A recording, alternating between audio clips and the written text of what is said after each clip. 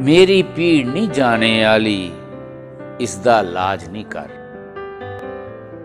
ਨਾ ਕੋਈ ਫਾਂਡੇ ਟੂਣੇ ਕਰਿਆ, ਨਾ ਕੋਈ ਮੰਤਰ ਪੜ। ਛਾਂਬਾ ਲਾਈਐ ਦੀਕਨ ਦੇ ਮੀ, ਇਸ ਪੀੜਾ ਦਾ ਸਾਰ।